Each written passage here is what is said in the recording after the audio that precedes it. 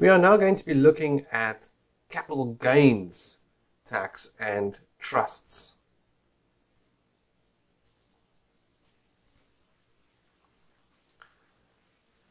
Okay, so the first thing that you need to understand is that the same as with income, capital gains can also be taxed in the hands of a beneficiary or the trust or a donor in exactly the same way.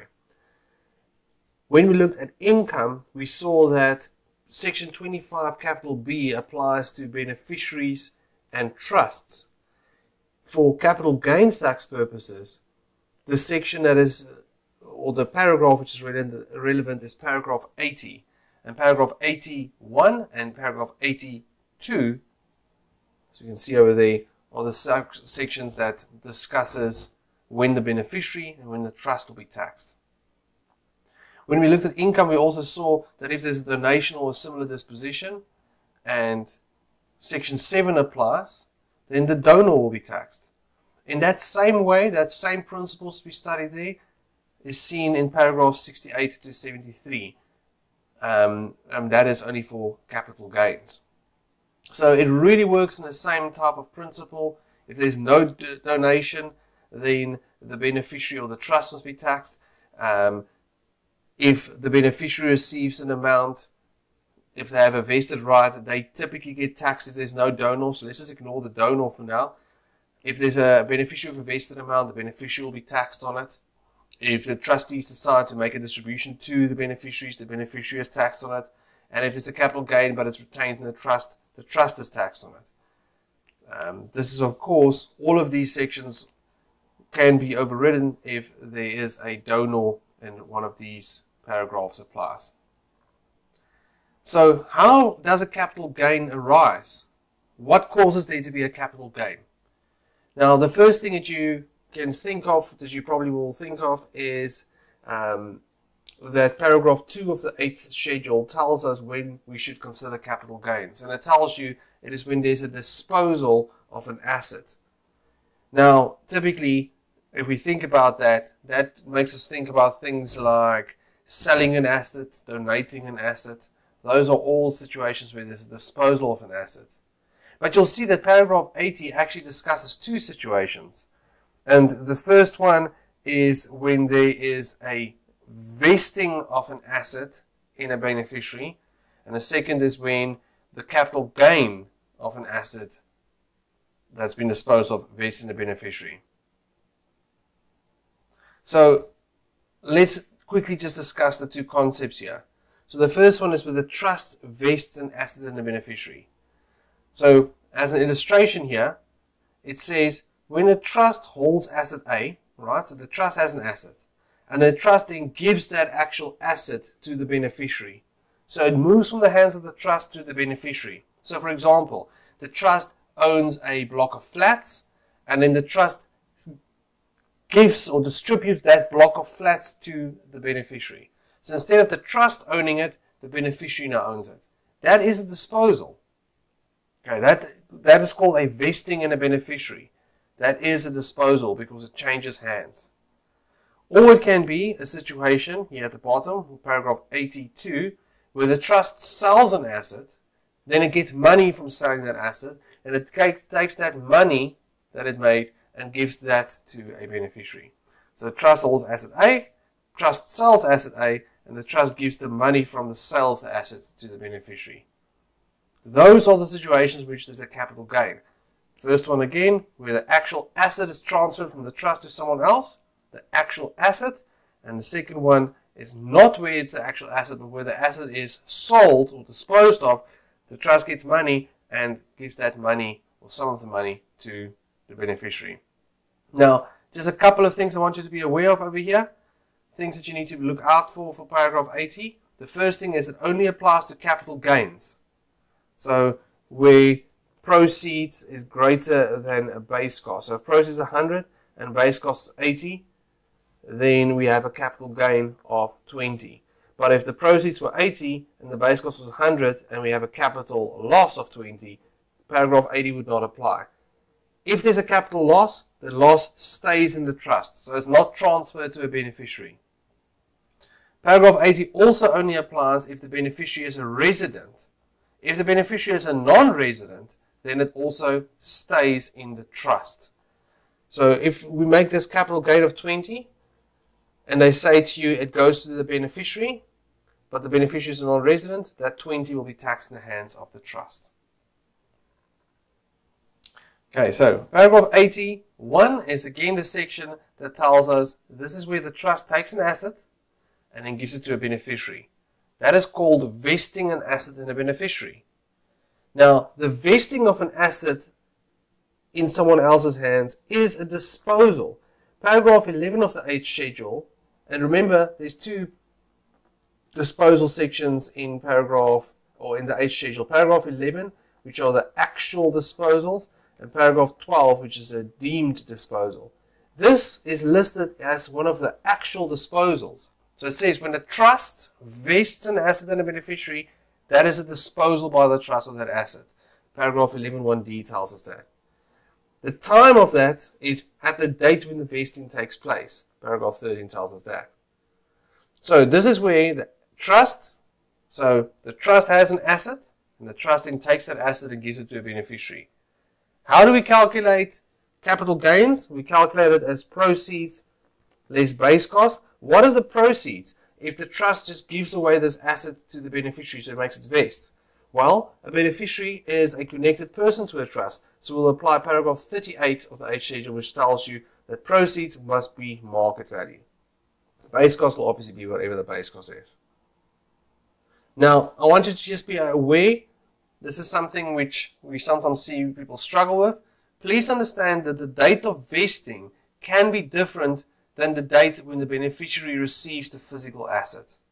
So for example, on day one, Mr. X donates an asset to the trust and stipulates that the ownership vests in child B. The trust then actually transfers that asset to child B on day 600. Now, although the child then actually gets the physical asset on day 600, it already vested in the child on day 1. So that is the date of vesting, day one. Okay, so just be aware of that. So for example, what we will sometimes see, just practically to think about it, is that we also have a trust over here.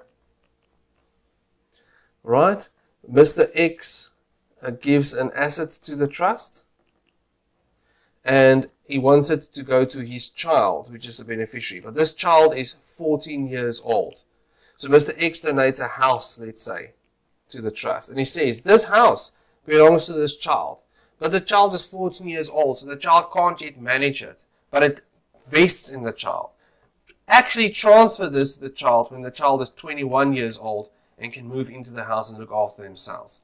So it will vest on that date, but it was actually just transferred on the 21st. So you don't have to physically own the asset or have it in your hands for it to have been vested the ownership can still vest in you even before it's transferred. As mentioned before also, please note that paragraph 81 only applies if the beneficiary is a resident. If they're non-resident, this capital gain is taxed in the hands of the trust. And again, just a comment that if there's a donation, then you have to consider paragraph 68, 69, and 71 if one of these sections applies, for example, 69 is when there's a minor child, a parent to a minor child, then the donor will be taxed. But we'll look at that in more detail separately. So here's paragraph 81, some illustrations. So Mr. X passes away, and in terms of his will, a trust must be created, and asset A has to be transferred to the trust. Asset A had a market value of 1 million rands on the date of Mr. X's death. Child X is a beneficiary of the trust.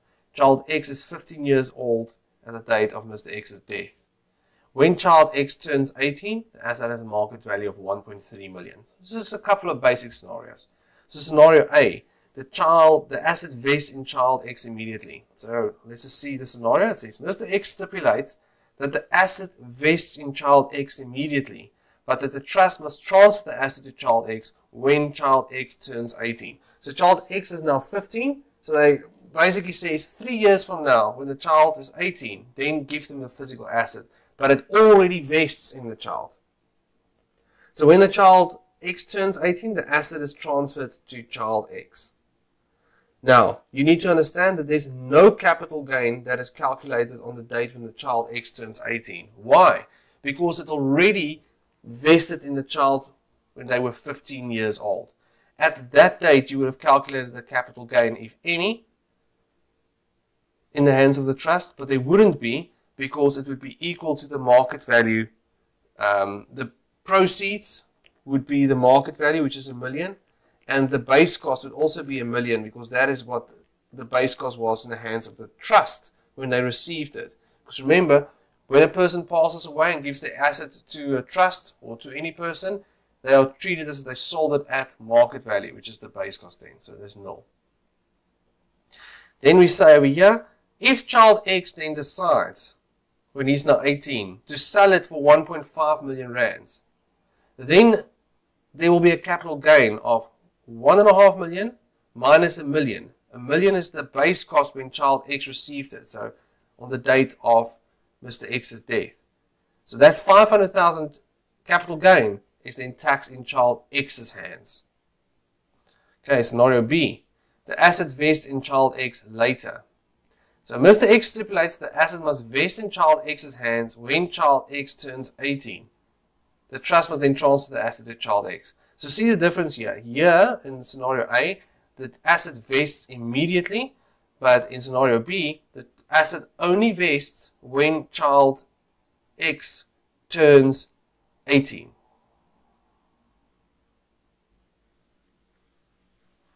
Okay, so child X is 15 at the date of death. When he turns 18, it must go to him.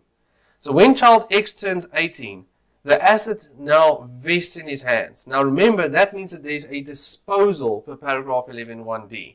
So when there's a disposal of an asset, we have to calculate CGT. So we'll calculate the CGT as the difference between the proceeds, 1.3 million, and the base cost, 1 million rands, so 300,000 rands. That 300,000 rands must be taxed in child X's hands per paragraph 81. Okay, so understand the trust owned the asset or held the asset and then transfers it to child X. So usually the trust is the one that would have the capital gain. But paragraph 81 says, no, the beneficiary should be taxed on it. If child X then sells that asset for one and a half million rands, there'll be a capital gain of 200,000, which is the difference between the selling price of a million, one and a half million and the base cost for child X, which is the market value when it vested in his hands, which is 1.3 million.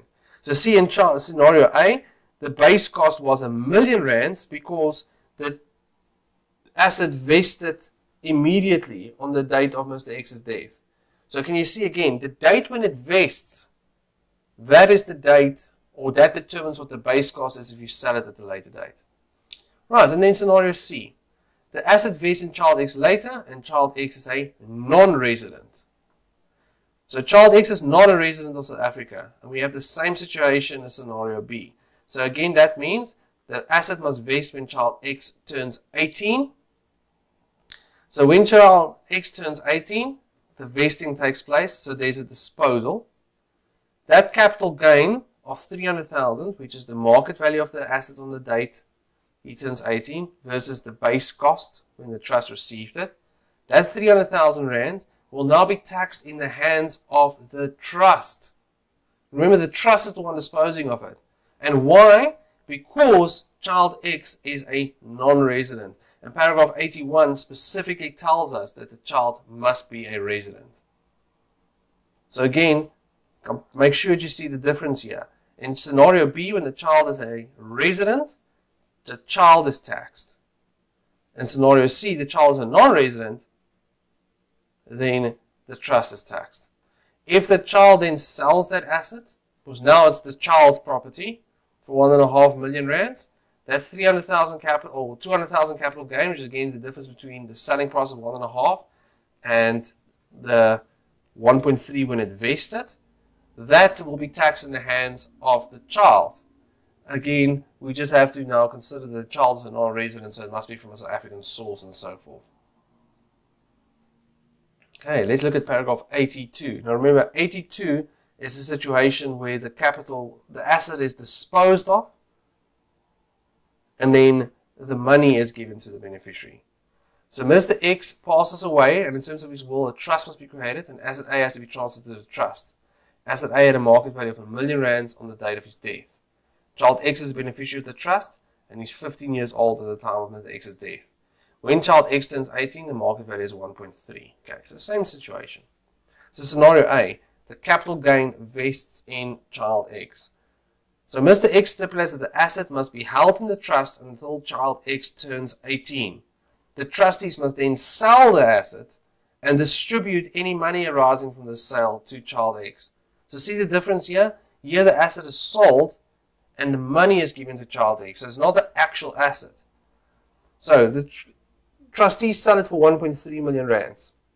That's 300,000 rands gain, which is the difference between the 1.3 it was sold for and the million rands base cost when they received it. That will be taxed in the child X's hands per paragraph 82. Again, usually, if this was a normal taxpayer, the trust would be taxed because the trust is the one that held the asset and was the one disposing of it. But paragraph 82 puts it in the hands of the beneficiary. Scenario B. The trustees distribute the capital gain to child X. So what I want you to understand here, in scenario A we saw, the child had a vested right to the capital gain from it. Right, because this says over here, it must go to the child. Now it says, Mr. X does not provide any instruction to the trustees on what to do when the asset is disposed of. Child X does not have a vested right. The trustees then decide to sell the asset when child X turns 18, and they use their discretion to distribute the proceeds to child X. So in scenario A, child X was entitled to it. In scenario B, child X has no entitlement to it, but the trustees then decide to give it to them. I want you to understand that in both those situations, it's exactly the same. The child will still be taxed on it. So the same as when we saw when we looked at section 25b. If the trustees use their discretion to pay something to a beneficiary, that beneficiary is taxed. Then let's look at uh, scenario C. Mr. X does not provide any instruction to the trustees on what to do in the case when the asset is disposal. Mr. X, uh, Child X does not have a vested right. The trustees decide to sell it, and they decide to retain the proceeds in the trust. Right, so who does it belong to? Who gets it? No one. So who will be taxed on it then? The trust will be taxed on it, per paragraph 82. So again, the idea here is, if there's a beneficiary, the beneficiary will be taxed on it. If there's no beneficiary, the trust will be taxed on it. Now, in all of these situations we looked at here, there have been no donation.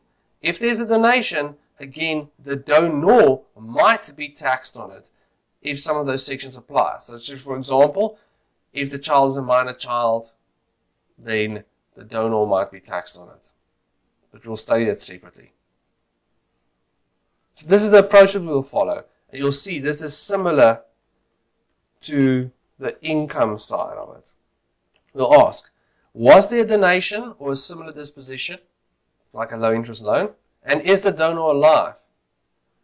If we say yes, we'll consider paragraph 68 to 73. So instead of section 7, we consider paragraph 68 to 73. Does any of those sections apply? If yes, the capital gain is taxed in the hands of the donor.